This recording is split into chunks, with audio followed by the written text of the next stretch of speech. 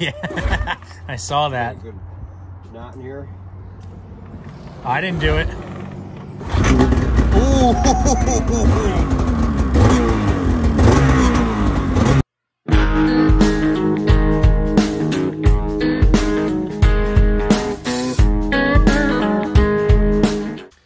What's going on, guys, and welcome back. Big day today. We are firing up our Indy 9R project, which is sitting right behind me. So if you've been guys have been following this series, you're going to say, "Wait, you're wearing the same thing, and that sled sitting in the same spot." Well, yes, because this is uh, it's all happening, and well, this is the second day of this build, but it is all happening kind of in one day. Well, all the big parts right now. So we are ready. We have fuel in it. We have Rick. Rick is the man behind the uh, the mechanics and the computer, which leads me to what we're about to talk about. So we have the engine from Polaris, we have the pipe from Polaris, we have the ECU from Polaris.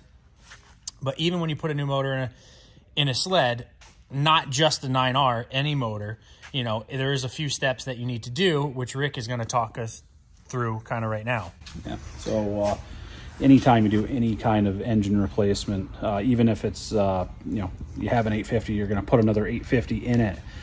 You're going to need to, unfortunately for for you guys, you're going to have to bring it to a, de- a servicing dealer. Um, You've got to reset all the break-in parameters. Uh, in reality, it's not a bad idea to repump, uh, reprime the oil pump.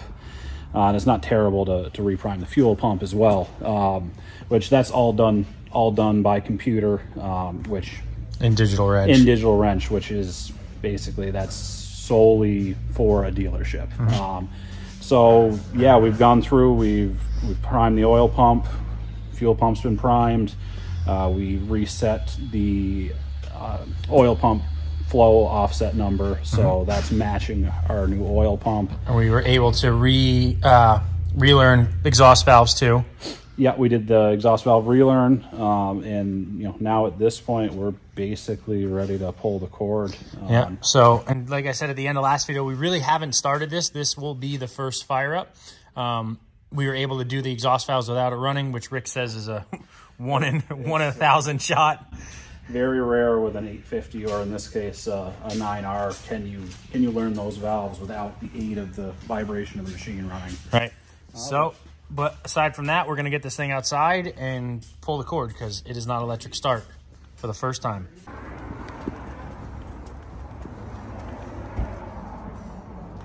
The motley, the motley crew here. Moment of truth.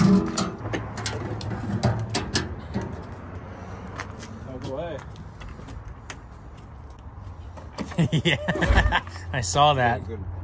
Knot in here. I didn't do it. 哦呼呼呼呼呼。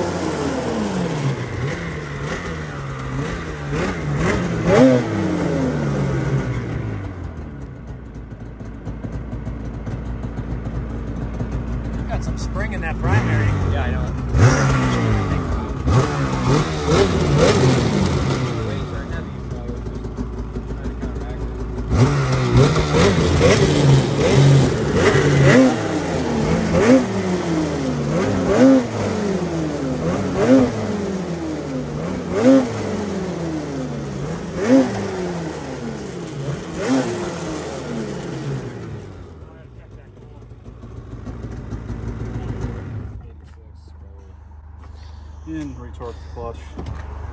So Rick hit it right on the head. Well, that clutch's gonna come back off now. but he guessed he guessed at three pulls. So you guys probably saw that there is no mile an hour. So, Rick, can you explain why we have no mile an hour right now? Uh, I mean, we kind of knew that was going to happen. Uh, basically, this ECU doesn't have any calibration in it to know the pulses as the rotor's going around. The the speed sensor's there. It's just not. Picking it up. It's, it's the ECU doesn't know what to make of each pulse. Right. So, so that is so that's something that we're going to try and work on with Polaris and, and Bruce's contacts over there. Um, we threw a clutch kit or clutch setup in it. Well, Bruce threw one in together, and it's definitely springy. Yeah. So we're gonna have to do some changes there, but it does run. Track spins. Mm-hmm. Just checking it over, make sure there's no leaks or anything like that. And we'll probably fire it up again at some point and run it some more. Back indoors, we're hooked up. No codes or anything popped up. The only issue that we're having is just that speed issue, which is why the check engine light was on. Everything else checks out. Everything else was good. Bruce is obviously already changing that that primary clutch setup, but we got the okay from the doctor. Minus minus that one. that's the only issue. It's the only one. So, and Rick kind of had a feeling that that was going to be an issue going into this.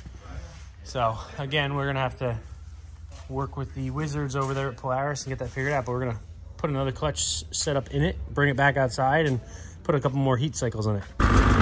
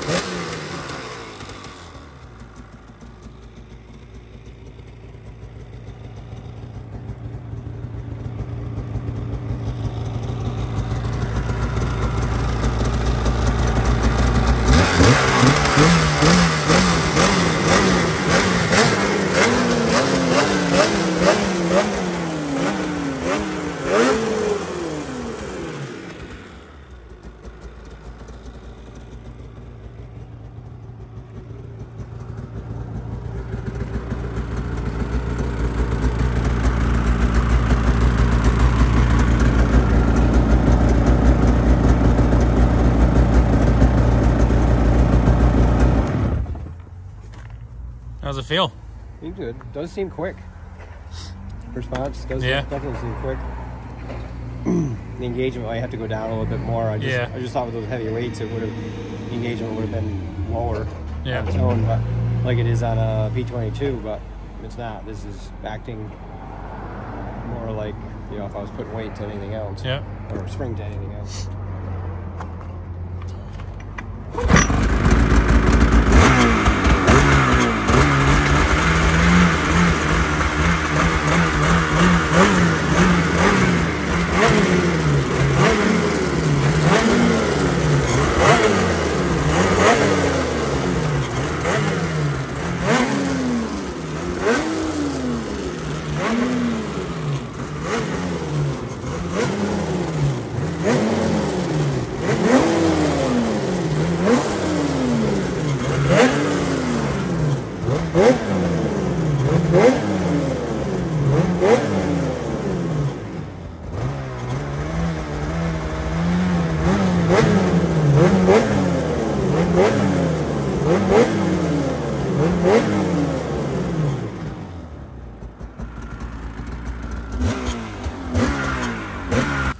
Well, there you have it. We did some more clutching changes and we got it kind of where we feel that it should be. you know, on the stand. Obviously, that's not field testing, but we think this is a good starting point from where we are. So, um, kind of overview of what we did. We took a 2023 XCR 136 with a 1.6 Cobra. It was an 850. It was electric start with a 7S. And we took the 850 out. We put a 9R in, all the 9R components. We took the electric start out. We put a P85 clutch in. Uh, we didn't stick with the P22. We changed gearing. We changed clutching. We Bruce went through and and valved every shock in here to what we think is the best of the best that you could possibly get. Has 100 pound springs up front, heavy duties in the rear, which come factory, but the valving inside of it is very, very good. Bruce pulled the limiter strap um, to cross country spec. So it is definitely much tighter than your, your, your ordinary XCR. Um, I noticed it as soon as I was walking up. I was like, did you pull that strap? And he's like, yeah, why? And I said, well, I could tell. So we're trying to make this the ultimate trail monster right here. Um, we will be testing it. We're going to get it on snow and see what it does um, wherever we can find snow, whenever that may be. But uh, sled's done. It's ready. It's ready to go out and play and see what it could do and see what it does to an 850 and see what it does to a boost sled. So they're definitely going to be two different animals. For sure, two different animals, but they're going to be they're going to be pretty wild. And I know a lot of guys are going to ask, you know, what did this build cost? What did this build cost? And I'm going to try to get a breakdown of everything uh, and put it at the end of this video. But uh, it's tough because a lot of parts aren't even available right now. And uh, it's not a cheap build, guys. You know, this is not something that you're going to be like, oh, you know, I'll spend, you know, two grand and I'll swap over to a 9R. Like, no, it's, it's a decent chunk of change. So I'm going to do some real research and some real digging and see kind of what what a legitimate idea of cost would be um, for you guys. But again, it's not going to be cheap. So excited for this. Big shout out to Southside Sales and Service, uh, Bruce, owner of Southside Sales and Service. Uh, this really all wouldn't happen without you. Big shout out to Rick, um, Gold mechanic here at Southside Sales. Uh, what an awesome guy he was to work with with this project. Um, I love talking to Rick because he's just so knowledgeable about a bunch of stuff. He sees stuff coming in and out of here all the time. That's like, wow, that's pretty wild. So um, big shout out to him. I originally was going to do this all by myself, and then he ended up being a little bit slower, so he jumped on board and, and really gave me a hand. And it was nice that he could do the work and I could hold the, the camera too. But when we were off camera, I did work. I promise you guys I did. But um, that's going to do it for this video, guys. Hopefully, you get this thing on snow soon, sooner than later, and uh, I'll keep you guys posted on how it is. But that's going to do it. Make sure to like, make sure to subscribe, and I'll see you guys in the next one.